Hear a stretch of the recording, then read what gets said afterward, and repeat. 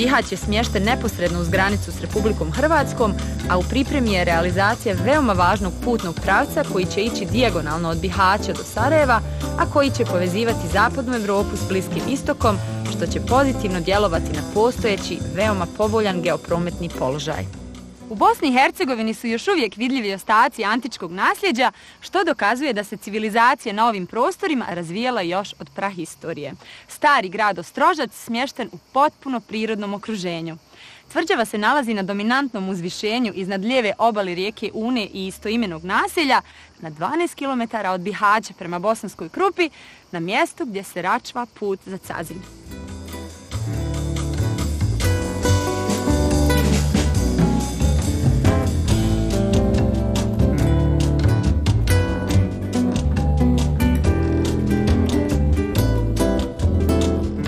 Turističko naselje Natura Art je projekat sa ciljem razvoja postojećeg turističkog potencijala Nacionalnog parka Una i njegove okoline, kao i upoznavanja ljudi s ljepotom i bogatstvom ovoga kraja.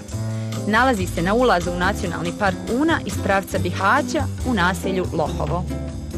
Za početak ženskih priča iz Bihaća nije nimalo bilo dvojbe. Prelijepa netaknuta priroda i čista Una malo adrenalina za početak jer nas očekuju izuzetno uzbudljive ženske priče koje će ispričati moje gošće iz Bihaća.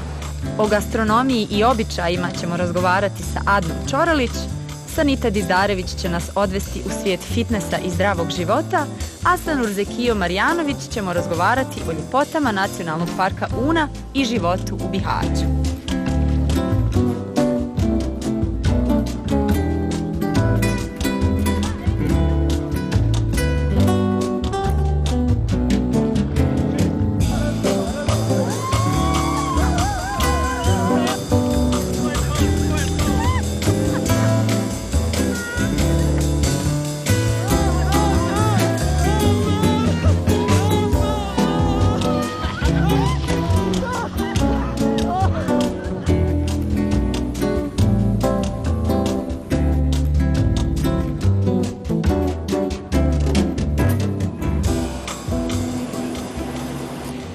Bišćani vole adrenalin?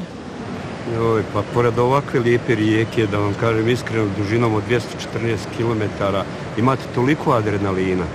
A onaj ko prvi put dođe, ja mislim da ovdje prezadovoljan, posebno ovi gosti sa zapada, i da puno adrenalina, pogotovo ima Štrbačkog buka u srcu nacionalnog parka Una, do, do ovdje gdje smo mi se sad spustili.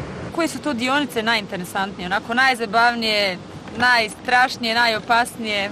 Pa ja mislim u ex Jugoslaviji da je ovo najljepši rafting od Štrbačkog buka do e, Lohova, do sela Lohova. E, težina vode je negdje 3 do 4 pa i 5 stepeni. Znači kad je malo ekstremnije onda i 6. A 6 je najveći dozvoljeni procenat za turiste.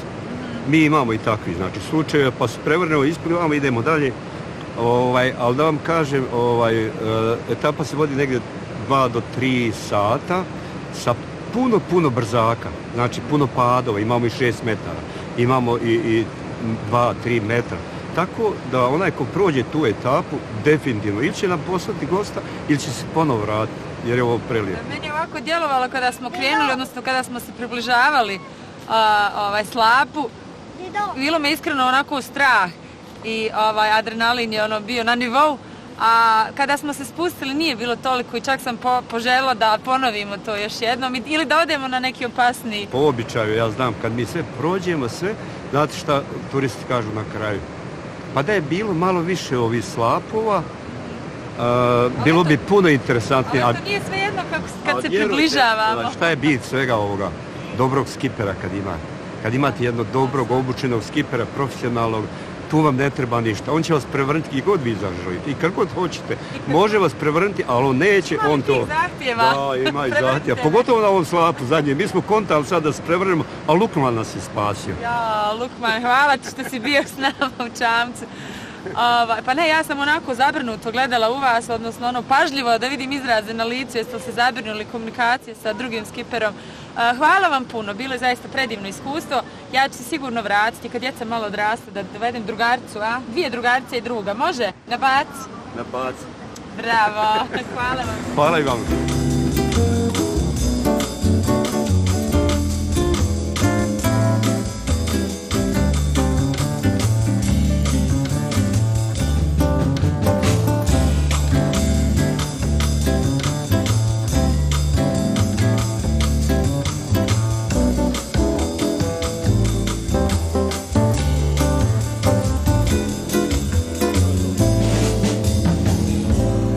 Propustite priliku da posjetite ovaj prekrasni grad na Uni koji će vas očarati svojom ljepotom, nedirnutom prirodom i snažnim ženskim pričama.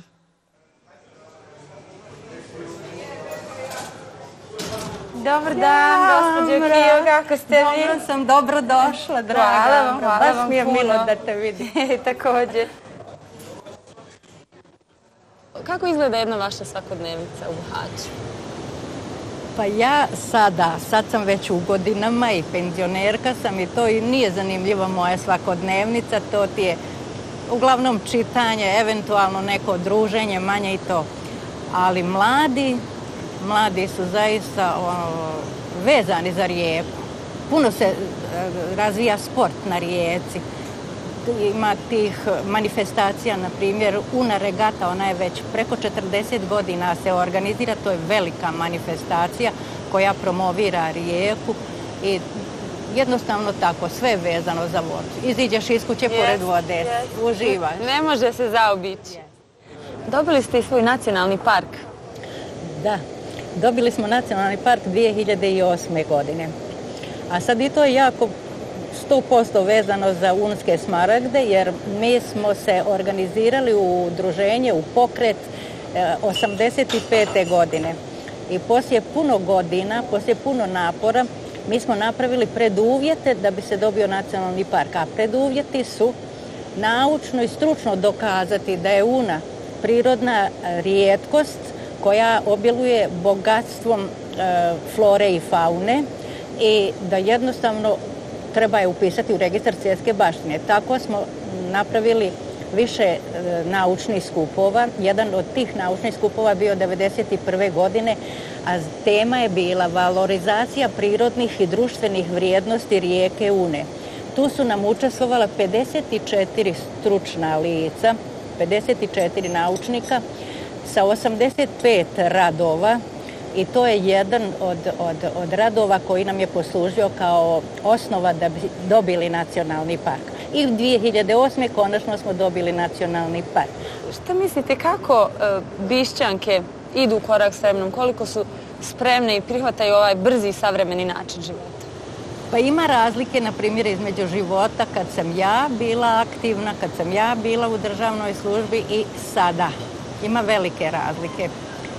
Nije nostalgija neka, ali zaista ja sam uživala dok Bila sam radila, a sad je vremena. vrlo teško. Sad je mnogo teže. Međutim, ovo valjda ova, ova voda, ova priroda, ovo sve utiče na te naše Vi cure. zaista živite u Unu, to se, to se primijeti, to je, predivno. zaista, to je zaista bogatstvo koje mi volimo, cijenimo i od toga živimo i to vidiš. Sad se toliko razvija turizam što je bila naša zamisao. Nacionalni park da da se štiti, pritom da štiti, da se ne, ne, ne devastira to, to priroda. I onda turizam. I zato nije divno kad mi pored Bihaća imamo gdje da odemo pa da uživamo i u jelu i u vožnji čamcom i u druženju. I... Predivno. Hvala vam, hvala vam velika na, na ovom druženju. Mi ćemo još malo ostati uz rijeku da uživamo iz našu kafu. Meni je bilo posebno zadovoljstvo što sam te upoznala. Zaista te se divim i cijenim. Hvala vam velika. Molim i drugi put.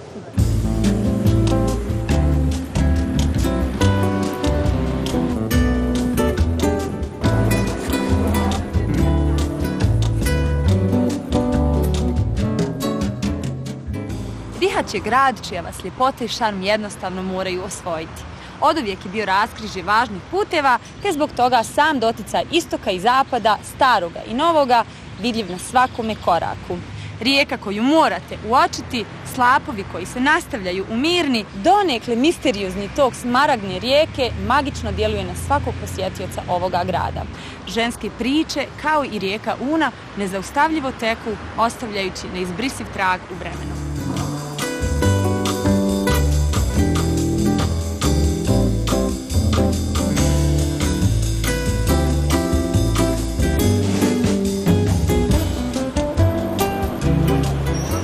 Kažu da će vam ova statua djevojka sa une donijeti sreću ako je dodirnete za lijevo bedro. Sigurno će vam donijeti sreću.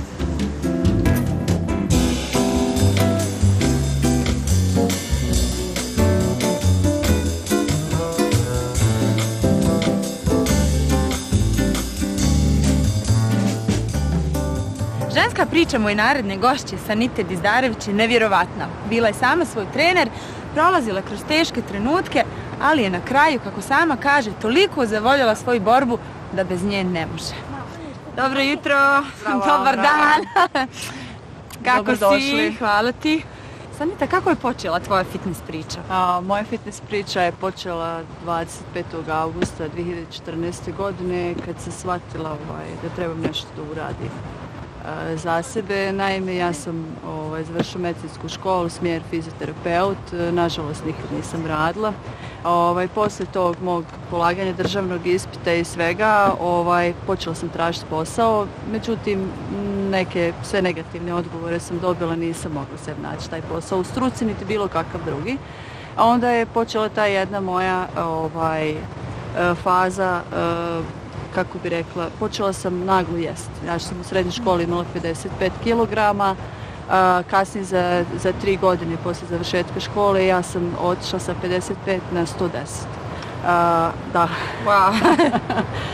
ovaj, e, jednostavno, možda ljudi ne vole da pričaju, pogotovo žene, u, o toj e, temi i tematici. Ja sam e, uvijek javno kažem i preiskrena sam, ja sam jednostavno bila u depresiji. Mhm. E, to je liječenje emocija hranom, znači nezadovoljstvo zbog posla, da moram od mame da tražim novac za neke svoje potrebe ili za kafu ili sok da iziđem vani sa prijateljcama. Ovaj, nekako jednostavno sam se sama prepustila sebi i došla sam u fazu gdje sam eto došla do 110 kg i tako sam živjela jednu tri godine. Međutim, jednu noć sam krenula u grad sa svojim prijateljicama koje su onako fit, atraktivne i sve i stala sam pred ogledalo, jednostavno obukla sam košulju. Kad sam se pogledala u ogledalo, ta košulja je na meni bila ovako deset šlaupova, ne jedan. Počela, jednostavno sam se rasplakala i onda sam ovaj, za mene... To je bio moment, ja gdje si presjekla koji sam mhm. ja dobila u glavi, znači da uradim nešto za sebe. Ovaj, 25.8.2014. sam ušla u fitness centar u Bihaću gdje sam ovaj, naišla opet na neke negativne komentare, pošto kod nas nekako ljudi kad dođeš gojazan ili debeo osuđuju te, kao zašto jedeš mislim da niko ne treba nikad osobu koja ima problem sa gojažnošću ili debljinom pitati zašto jedeš. Ja sam evo očit primjer, e, ja sam djevojka koja je jednostavno hranila emocije hranom e, radi nekih privatnih problema, najviše zbog posla. To me nekako ubijalo što nisam mogla ovaj raditi. Kad sam ušla u fitness nisam znala znači upaliti traku prvi mjesec sam omršala 6,5, drugi 11,5. U suštini za tri mjeseca sam skontala e, koja je tehnika mhm. fitnessa i, i koji kalorijski deficit. Sve sam ja tu sama razmišljala bez ikakvi internet, internet neki dijeta ili čajeva, preparata. Ja sam mhm. veliki protivnik ovaj, ti e, preparata hemijski, u iskreni, hemijski, čajeva za mršavljenje, ne, nemate dugme, nema čarabnog čaja, znači sve je red rad disciplina. Za prvi 16 mjeseci sam omršla 45 kg, ukupno sam skinula 54, s tim da sad već tri godine radim uspješno na svom tijelu. E, od toga sad i živim. Eh, kad sam skinula prvi 45 kg dobila sam ponudu da radim u fitness centru kao fitness trener i radila sam eh, za taj fitness centar u Bihaću tri mjeseca. Onda sam ja došla na ideju da bi ja mogla napraviti puno više za, mhm. svoj, za svoju karijeru i, i, samo za sebe, da jednostavno, kako se kod nas kaže, budem svoj, sam svoj šef. Pa jesi, ti si stvari savršen primjer ovaj, da se može sama na sebi E, da primjeniš sa deset svojih jeste prstiju. Da, žuljevita. I ja sam došla na ideju uz e, nagovor mojih prijateljica sam napravila ovaj stranicu fitness trener, Sveti Zariš fitness trener. E, prvi mjesec sam, znači, neću reći koji je broj klinata, ali je puno, za, jednostavno nije bilo mjesta u fitnessu. Počela sam taj svoj, hajmo reći, biznis E, i dan danas trajem. E, tri godine radim već, imam preko 150 klijenata, radim online treninge, mm. treniram e, ovaj, svoje žene i muškarce, drage bišćane, bišćanke i širom Europe i treniram ljude iz Sarajeva, online Zerice, Tuzla, nebitno širom BiH i širom Europe. Tako da u suštini ja mislim da svaka žena može uspjeti.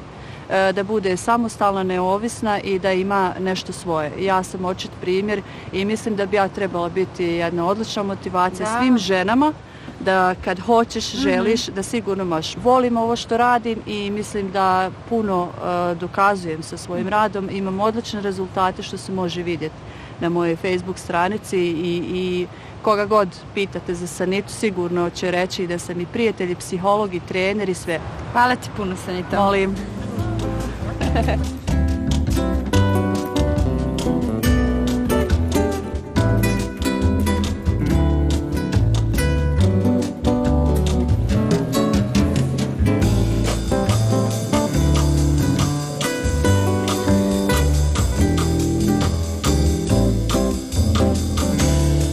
Adna je prava osoba za razgovor o gastronomiji, kulinarskim običajima i o turizmu koji zadnjih godina cvjeta u Bihaću.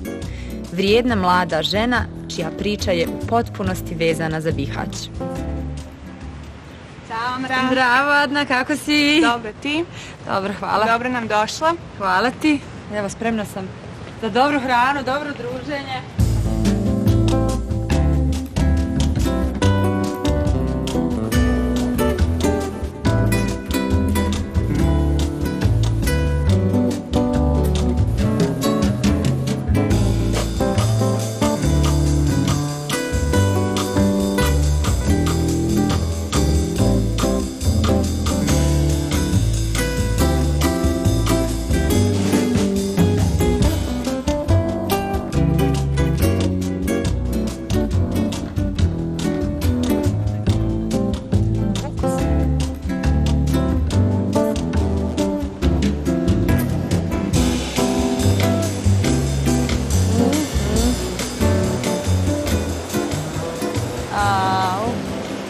Miris une, mm, savršeno.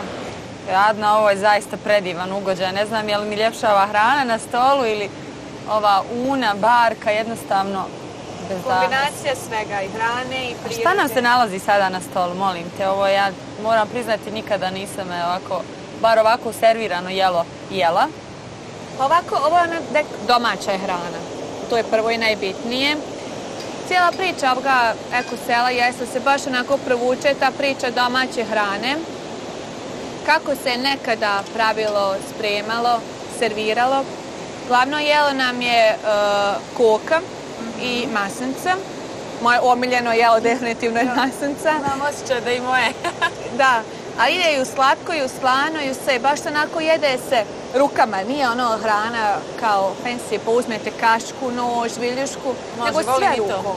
E, prirodno, ono pravo kako bosanski, kako smo naučili. Mm, I ta hrana je baš dobra, onako kisela je baš po mom ukusu. Tu imamo i svježu limunadu, ovdje ovo je, je li ovo pita od jabuka, jeste? A šta je ovo? To vam je džem. A džem. Kada završimo sve, masnice se onako rukom iz komada, stavi se džem u tanir, ono umače se. A znači, I masnica, masnica. Da. Masnicu ćemo jesti i uz koku i uz džem. I uz džem. I slatko i slano. Kako izgleda dan jedne mlade, uspješne i vrijedne bišćanke? Pa ja se budim svako jutro jako rano. Budna sam već oko šest ujutro. U stvari, oko pola šest sam budna, onda je zavisno onoliko od raspoloženja kao i kod svake žene koliko treba da se spremim. Nekad se spremam sat vremena pa plačem pa nervozna, a nekad sam spremna za 15 minuta i već kreće od pola sedam sam u firmi u hotelu. Volim da odradim svu papirologiju, taj neki dio dok sam sama, jer onda tek kreće gužva od 8 sati, gosti silaze, dolaze, novi dolaze, stari odlaze, uvijek su neka pitanja, novi izazovi i dan nikad nema kraja. Imaš li vremena za privatni život, za neke sitnice koje ovaj, te čine sretnom, a da to nije u hotelu ili na nekom poslu? Nađem ja sebi ono u toku dana ili tri puta sedmično neki sat vremena koji su samo za mene. Ono što sebi zamjeram najviše što ne treniram. Ali nađem sebi ispušni ventil, ne znam, zadnji put što sam radila zadnjih mjesec dana farbala sam ogradu.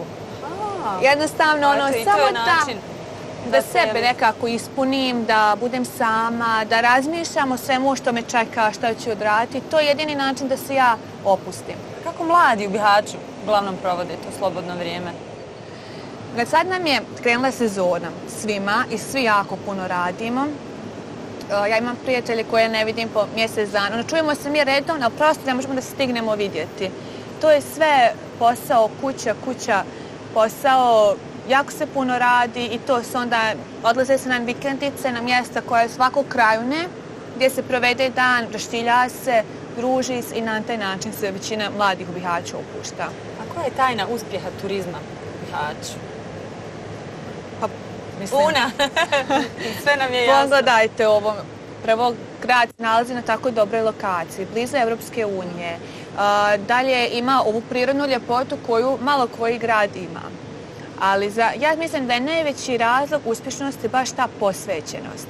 Većina hotela, objekata, ugostiteljskih u gradu su izašli iz nekih malih porodičnih biznisa, gdje vi imate da rade roditelji, djeci, svi zajedno rade i gosti ne osjećaju se kao ono kad odu u neki veliki hotel, ok, dobiju check-in, urade, uđu, daju pasoše i to i to.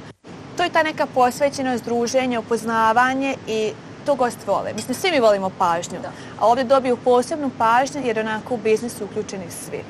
Znači, ja u jednu ruku, jeli, uzmem komad tje- tijesta, Masnice, masnice i sad uzmem ovako, ja volim rest rukama, znači, ko stvarno. ne voli? Tad I? je najslađe. Znači, jedan zalogaj, Ja inače nju volim da onako rukama svoje razdvojim ono slatko, da imam što više, da mogu što više da uživam u njoj. I jednostavno komad mesa otkinete, stavite vrhunski.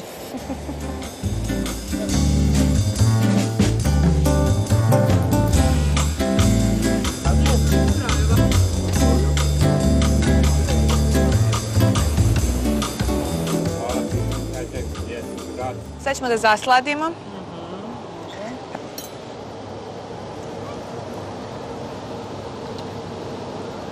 Ona stvarno sama za sebe priča. Draga Adna, hvala ti puno na gostoprimstvu, na predivnom druženju i na ovoj preukusnoj hrani. Hvala te, Mamra, što si došla. Što sam imala tu čast da te ugostim. Stvarno za emisiju o ženama nismo mogli zabrati bolju voditeljicu. Stvarno si prekrasna jedna žena. Vidi se da posvećena prvenstveno svom poslu i životu. I nadam se da, ćemo, da ću imati priliku ponovo da te ugostim, da ćeš nam do- dovesti Unu, da je provozamo, da vidi odakle joj dolazi ime. Hvala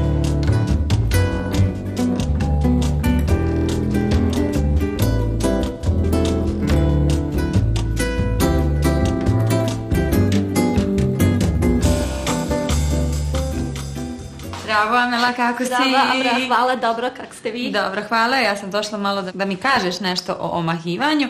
Ajde da me opustiš malo. Izvolite. Hvala. Običaji uljepšavanja žena u Bihaću su jako zanimljivi, a jedan od njih je i tradicionalno omahivanje. Pa da vidimo o čemu se to radi. Šta je to omahivanje, Amela? Omahivanje. E, nekad davno žene su se omahivale, sakupljali su jutarnju rosu, to, to, to se je zvalo omaha. E, išli su na izvora rijeke Une, e, gdje su vodu donosili, u to su potapale latice ruže, raznovrsnog e, poljskog cvijeća, da bi ostale cijelu godinu mlade i lijepe. Mlade i lijepe. Lijepe. I koliko često dolaze? Ili imaš ovako minima- neke mi- stalne klijentice? Minimalno mje- mjesečno. Mhm, jednom mjesečno. Mje- Jednom mjesečno. I šta najviše od tretmana? Evo, koji vam tretmani najviše E, Naj, idu? najviše nam idu to su ovi higijenski tretmani lica, njega, čišćenje. čišćenje. Radite i neke masaže posebne? da. Radimo sa sve su prirodna ulja na esenciji ruže, što je ruža i poznata po onaj eliksir podmađivanja. Ja, meni to već, već tako godi. Stigneš li se ti, Amela, srediti? Da li nađeš vremena Pa da nađe. te jedna od djevojaka- može sebi naći vrijeme. E, slažem se. Evo ti si Amela i, i mlada, jako uspješna vlasnica si ovog kozmetičkog salona. Kako uspijevaš izbalansirati privatni i poslovni život? Uspijem sve. Sve je li do dobre organizacija, Sve je dobra organizacija, podrška je li i porodice? jaka žena može sve. Mm, bravo, Ja, bravo. Sviđa ovaj, mi se to. ovaj, ja kažem uvijek, samo nam je nebo Mm, granica. granica, ako neko Sviđa mi se to, a sviđa mi se, Boga mi, ta masaža tvoja. Mm, slobodno Meni inače kažu ovaj, da imam zlatne ruke. Zlatne jake, baš volim. A je li, evo, pošto ja baš volim nekako jake masaže, čak i, i masaže lica, Mhm. pa neko je ono pobornik toga, nekom, nekom to nije okej. Eto, kakav je tvoj stav što se toga tiče? Je li ono što je jače je bolje ili ipak to treba biti dosta nježnije, pogotovo kada je lice Pa, u pitanju? zavisi uh, koje je tačke lica. Bitno je da potakneš stimulaciju Stimulaciju, mišića. Ja uvijek preferiram prirodne, biološke ove tretmane lica. Ovaj, bar jednom mjesečno Imaš li neke hobije? Šta radiš? Šta voliš da radiš u slobodno vrijeme? Šta te opušta? Šta me opušta? Moje dijete. Je li? Ja s tim jako Koliko? malo provedim vrijeme. Koliko mu je ili joj je godina? Pet. Dječak. Dječak. Draga moja Amra, sad ću te pošpricati ružnom vodicom, Može. kao što su se nekad naše djevojke špricale ovdje u krajini. Divno mi I ostala je dan danas ovdje. Može još malo? Može? Divno, baš osvježava i miriše.